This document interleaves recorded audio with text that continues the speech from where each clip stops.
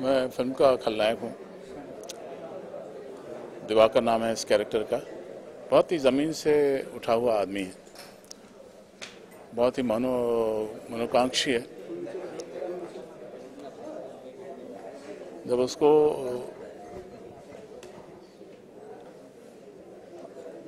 ऊंचाइयों पर उठना चाहता है, जब उसके सामने ये चॉइस आती है कि उसको क्या करना चाहिए तो वो पॉलिटिक्स अपनाता है। तो एक साधारण कार्यकर्ता बन, साधारण कार्यकर्ता बनता है। उसके बाद साधारण कार्यकर्ता से अपनी मेहनत से वो एमएलए बनता है। फिर एमएलए बनने के बाद जब वो पॉलिटिक्स के अंदर जो पॉलिटिक्स होती है जिससे आदमी अब ऊंचाइयाँ हासिल करता है क्या क्या हथकंडे वो अपनाता है, ये सब जब वो देखता है तो उसके मन में भी जिज्ञासा होती है कि मैं भी क्यों ना इस तरह के साम, दाम, दंड, भेद, हर तरह के तरीके अपनाऊं और ऊंचाइयाँ हासिल करूँ पॉलिटिक्स में।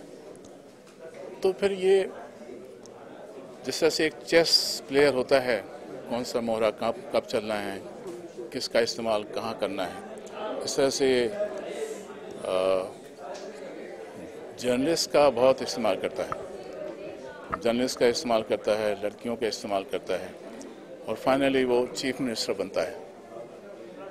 ये इसकी पूरी जर्नी है इस कैरेक्टर की। मतलब बेसिकली हमने देखा आप हमेशा विलन का किरदार निभाना पसंद करते हाँ। उसके पीछे उसके पीछे वजह है। वजह यह है कि मैं हमेशा फ़र्स्ट रो में रहना चाहता था और फ़र्स्ट रो में हिंदी फ़िल्मों में हीरो हीरोइन और विलन सिर्फ़ ये तीन ही कैरेक्टर्स होते हैं। जो फ़र्स्ट रो के होते हैं बाकी जो और दूसरे कैरेक्टर्स होते हैं वो एक फिलर्स के तौर पर फ़िल्मों में इस्तेमाल होते हैं। सो so, इस वजह से मैंने बाई चॉइस खलनायकी अपनाई है। मतलब रियल लाइफ में भी आप ऐसे ही हैं या मैं रियल लाइफ में खलनायक नहीं हूँ। मैं बिल्कुल उल्टा हूँ। ये तो वो बताएँगे जो मेरे साथ में जुड़े हुए हैं कि मैं कैसा हूँ। बहरहाल रियल लाइफ में और रियल लाइफ में बहुत अंतर होता है। जब भी आप सिलेक्ट करने जाते हो तो आपको विलन का मिलता है? मैं ऑडिशन में जाता नहीं सिलेक्ट होने के लिए लोग मुझे बुलाते हैं कल नायकी कराने के लिए ऐसा है। ठीक है ओके